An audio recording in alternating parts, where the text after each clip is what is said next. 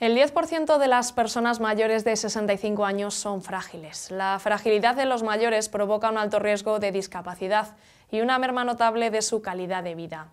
En la unidad de fragilidad realizan programas de entrenamiento y de investigación para potenciar un envejecimiento saludable. Hoy nos abren sus puertas. Mide la fuerza que tienes en cada mano, en kilos. Entonces, lo único que tienes que hacer es estirar el brazo y separarlo como 45 grados y apretar fuerte. Cuando yo te diga una sola vez, ¿vale? Con cada mano. Vamos con la derecha. Isabel fue operada en julio del corazón. Derivada por su cardiólogo, visita la unidad de fragilidad en el Hospital de la Virgen del Valle de Toledo para que le realicen una primera evaluación y pase a formar parte del programa que viene desarrollando esta unidad. La fragilidad está presente en el 10% de las personas mayores de 65 años y en el 40% de ellos está en una situación de riesgo intermedio. Pero ¿qué es la fragilidad? La fragilidad es un estado de vulnerabilidad donde los pacientes, eh, eh, la prevalencia es más grande en pacientes mayores, eh, están en un estado de riesgo ante factores estresantes que lleva a situaciones pues, de mayor discapacidad, mayor mortalidad, mayor hospitalización. Las partes negativas de la fragilidad es que si no la buscas no la puedes detectar. En la actualidad, desde aquí están operativos diversos programas de investigación, como el desarrollo del estudio sobre envejecimiento activo de Toledo, que ha tenido como base 3.000 ancianos, o un proyecto de investigación en el que los pacientes son personas de edad avanzada con enfermedad cardíaca valvular, con el fin de mejorar su calidad asistencial antes y después de la intervención quirúrgica.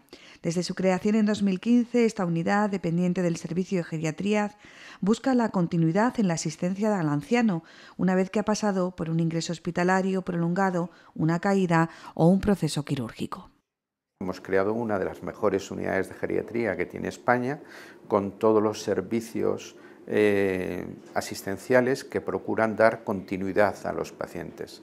uno de los grandes problemas que tiene eh, eh, un, mayor cuando enferma es que necesita continuidad asistencial. Si no existe una continuidad asistencial, eh, pues eh, en un momento determinado pues puede verse totalmente desprotegido en cuanto, en cuanto a sus necesidades de salud.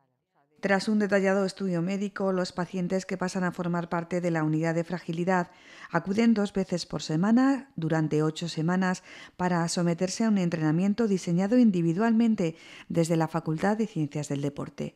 Una dieta saludable y un ejercicio adecuado a sus necesidades y capacidades aportan a estos pacientes una mejora en su calidad de vida.